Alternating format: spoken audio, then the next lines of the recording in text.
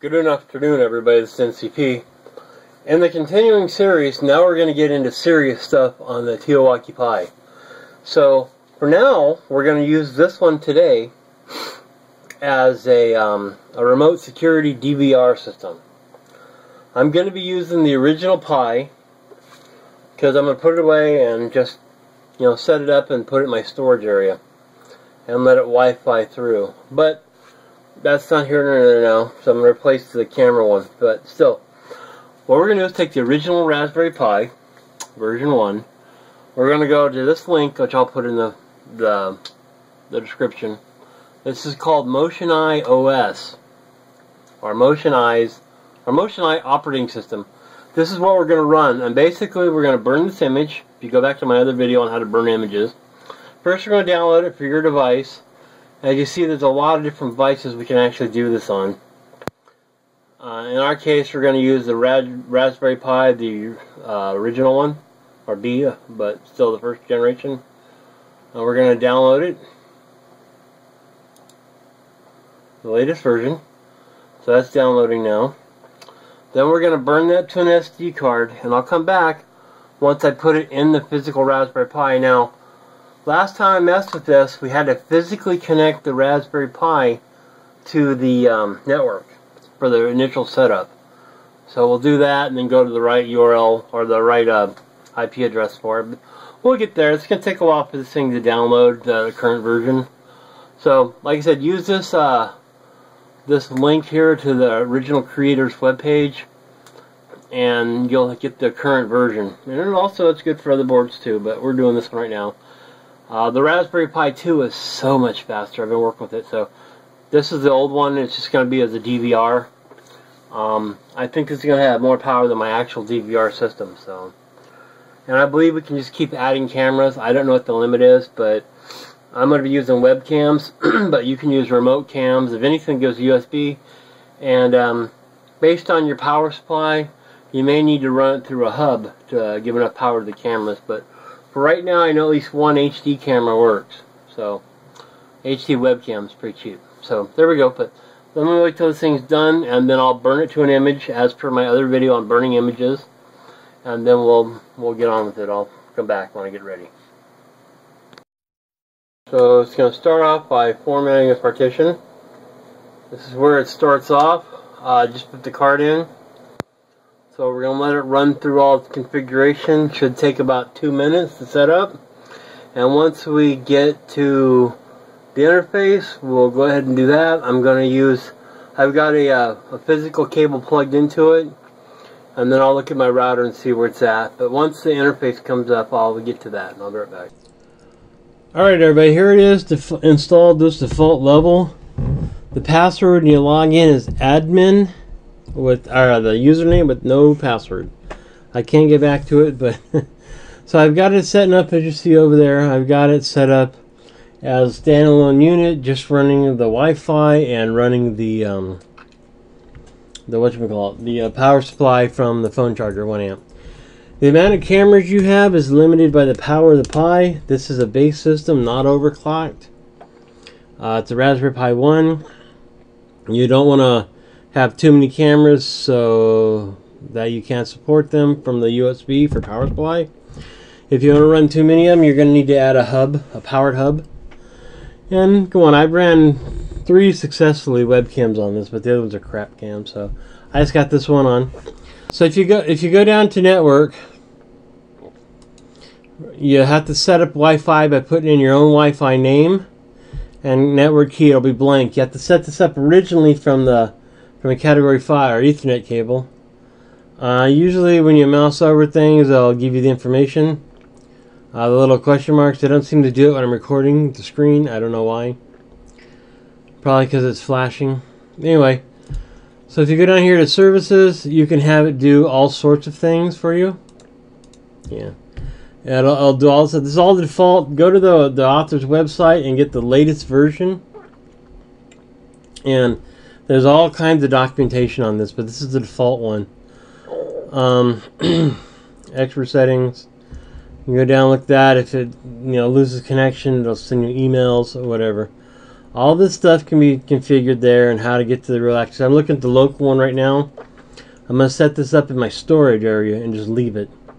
And use a local network there that I have access to. So, a local Wi-Fi. And like I said, you can do all this other stuff here. Real simple, go through it. Excuse me. And I redid that one. So, right now you can type camera, you can name it whatever you want. I'm just going to leave it. You can have the brightness. If your camera doesn't have these settings, it can do it for you.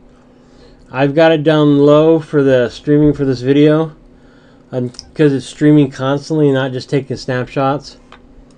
But you can turn it up to whatever your camera supports. In this case, uh, 16, 1600. I'll run it right now at 320, just leave that alone. You can rotate the video so it sets your camera however you want.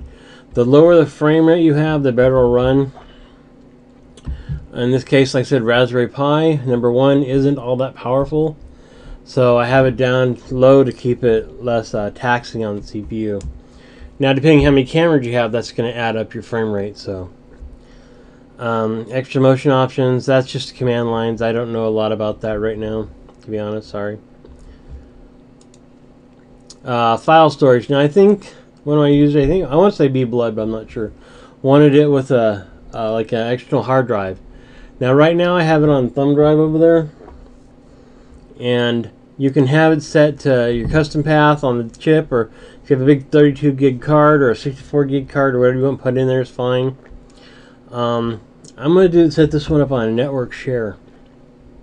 And I'll have it do both, but I'll have a network share, I'll have it dump my files to the cloud server. So if I'm not there, you know, I'll see what's going on. And I've used 1% of 7 gigs, or 14 gigs, so. But you can have it upload your media files, that's your video and stuff to your cloud service, or uh, webhook is like basically have the web page go to another page and flash so it shows you. Run commands, you know, set off your alarms. If you're gonna like use your general purpose input output pins on your Raspberry Pi, you could have it run to physical alarms, or you could have it trigger like a man trap and like lock all the doors if you have servos on them or something. Uh, just just whatever you want to set it for. Text overlay is basically your camera and what it is, and timestamp and whatever you want on there. Video streaming is the streaming rate. If you want to watch it live streaming, you can set up your rate and speed for that. Again, the more uh, the more the more you have this, the more power you have it set at, the harder it's going to be on the Raspberry Pi. And there are other options besides Raspberry Pi. It's like Banana and Banana Pi and Arduino, and the author has made this available for several types of uh, one one chip computer boards. So whatever works best for you. I'm running this on a Raspberry Pi 1, which is pretty much disposable now. I'm, I'd like to run on a Pi Zero. Actually, that's like a $5 DVR. Um, it'll take pictures. That's what I'm kind of having to do. Because I don't need it running when it's closed and no one's there. So I'll just have to take pictures every so often. High quality and I'll have it preserved forever because it's going to be going to my cloud. The movies is the streaming, uh, the movie quality. So we're going to have the high quality right now. At 25% of the potential. Right here, I'll tell you the information on that. But like I said, it doesn't work right now. When I'm when I'm capturing video, the the the highlighted notes doesn't show up for some reason. But on yours, it will when you get it. So you have it run for so long, have it saved for like however you know just like a regular DVR, how it'll cycle like a one month or whenever. Whatever you want to set it to. Motion detection is where we come into the, the important settings. Um, when things change, it'll um, it'll go. When the noise detection is good, if you have a long, multiple, let's say you want to run a long, like, I don't know, 30 meters of USB cameras.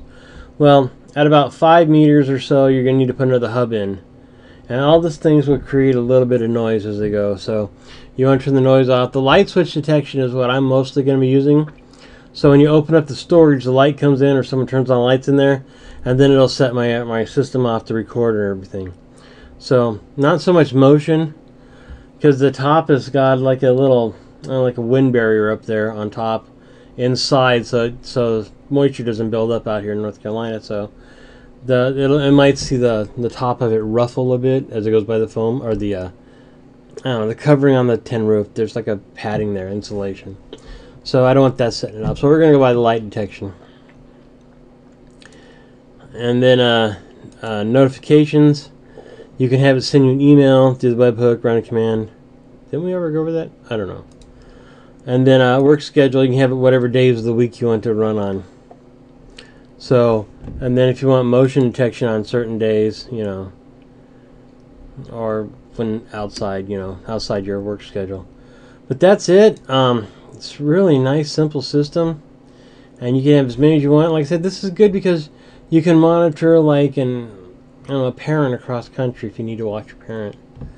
Um, terrible invasion of privacy, but you know, make sure they're okay with it. You know, if you have a baby monitor you can monitor, or you know, we'll have one set up here to monitor the pets.